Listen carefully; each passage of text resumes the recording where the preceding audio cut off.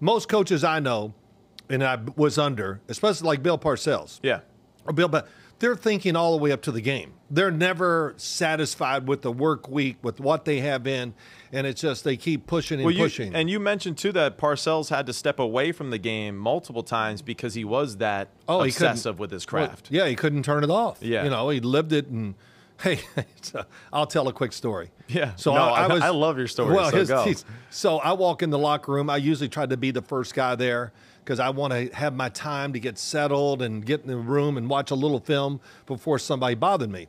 So I walk in there one morning.